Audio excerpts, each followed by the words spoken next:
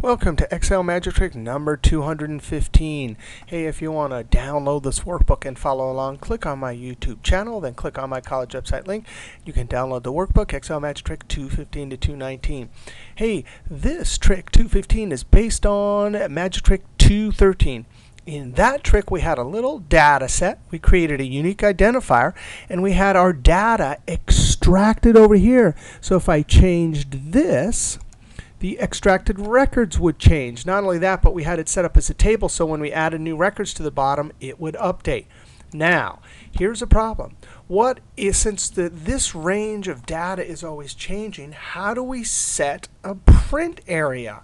In essence, we want a dynamic print area. Right now, we'd like to print out that. But if we change the uh, criteria here, we then want it to change to this. Well, first, um, before we see how to do it dynamically, let's just see how to set print area. Now, in 2007, you go to Page Layout, and then Print Area, and then Set Print Area. In 2003, you go to the File menu, and then Print Area, Set Print Area. And there you go. Now we have this. I'm going to use the keyboard shortcut Control F2 to look at print preview, and you can see it got those values. Now I'm going to click Escape. Print preview is in the File menu or in the orb. now let's change the criteria. And what happens? Whoops. Okay, so we have all these blanks. So now if we Control F2, we can see we have some blanks. So how do we do this? Well, let's go ahead and see if we can figure out uh, a way to do this we're going to still use that print set print area. In fact, let's go and see that when you set a print area, it's actually a name.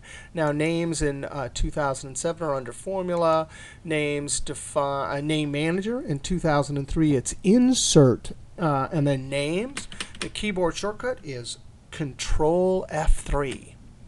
And there it is. You can see there's a print area. So what we're going to do is we're going to create a named range that's a formula that will pick up dynamically uh, the, the uh, data and the headers and footers. And then we'll replace that print area name with our dynamic name. All right. How are we going to do this? Let's use our keyboard shortcut Control F3. And we're actually going to create a new name.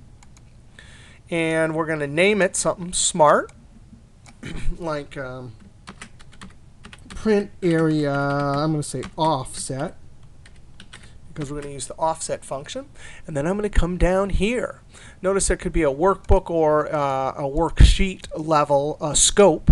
We want it for the whole workbook. Comments, uh, dynamic range for printing extracted records. All right, we're going to use the offset function offset equals offset. Now, I've done lots of other videos on this. The offset function will define a range for us. Now, um, there's five arguments here. The first argument to the offset, and I'm going to click this right here so we can collapse down. The first argument is where is uh, the upper leftmost cell where this data set starts. So it's going to be G22, comma. The second argument is from that starting point, do you want to go up, uh, down, or up any? No, we want to stay in G22, so I'm going to type a 0, comma. The third argument is from this position, do you want to go to the left or right? Any. Left would be negative, right would be positive, positive columns. No, we want to stay in G22, uh, so I'm going to put a 0, comma the uh, next argument is how tall is it? Now, here's our trick. We're going to say count if, open parentheses, and what do we want to count? Well, we're going to count this whole range. Actually, we'll do this range right here because these are numbers. If you remember from uh, the, the, last video, these were numbers, these were text, these were text strings. But we'll do numbers right here. We want to count this whole range, comma, and what do we want to count? Oh, are our criteria close parentheses. So right now, this will give us 2. Now, that won't work because what we want is 3, right? 1, 2, 3. So we have to add 1 here. comma. And since our columns are always the same, 1, 2, 3, 4, we could put a 4 here. If it was dynamic, we could use something similar to that. Close parentheses. Now I'm going to actually copy this because I know that's hard to see right there. and I'm going to uncollapse and then click OK.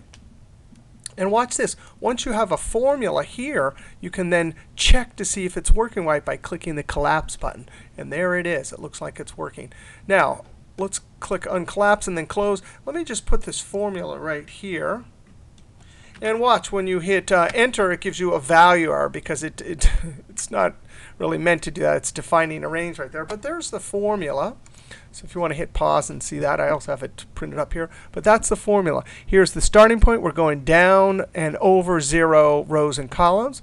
We're counting. We get 2. We add 1 right here. So we get 1, 2, 3. And finally, there's 4 columns. So it defines a range.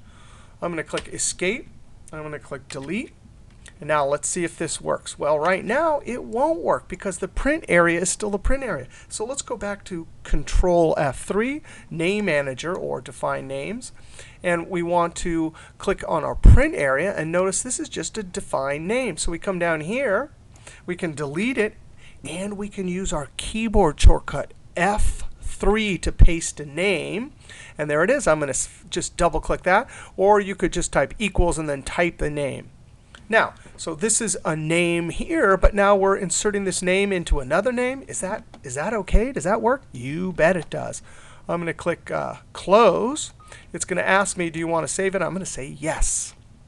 Ooh, it's already looking good. Look at that. You can see the print area. I'm going to con um, Control F2 to look at print preview. And sure enough, that looks like it works just fine. Escape. Now let's change the criteria. Oh, this is so exciting. I'm going to change it to 0, 0. It, um, it looks like it worked. The uh, dotted line, which means uh, set print area, seems to work. I'm going to Control F2. Sure enough, that worked. So that is, I'll click Escape here. That's how to create a uh, dynamic uh, print area based on our earlier formulas. All right, we'll see you next trick.